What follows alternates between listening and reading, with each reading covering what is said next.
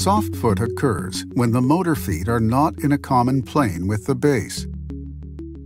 If soft foot is not corrected, it will be very difficult to accurately correct shaft misalignment. The machine casing will distort, causing bearing misalignment.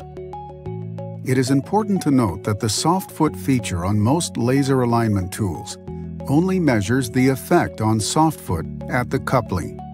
To measure the actual soft foot, you must do so at the foot of the machine using a dial indicator, probe, or by sliding a feeler gauge under the foot. This will determine how much a foot lifts up as the bolts are loosened one at a time. On small machines, the feet are loosened one at a time. The gap is measured with a feeler gauge or a shim.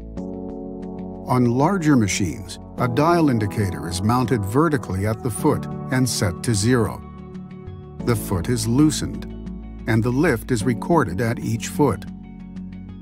Soft foot is then corrected by adding shims to the foot with the most lift.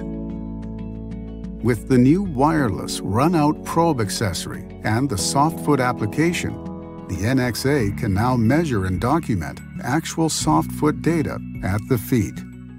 First, the probe is mounted vertically at the foot. Next, enter the soft foot application on the NXA. Select the foot to be checked. The bolt is loosened and then retightened. Select the check icon to record the soft foot data. Subsequently, the remaining soft feet are checked. Shim one foot of the two with the highest values. And then recheck.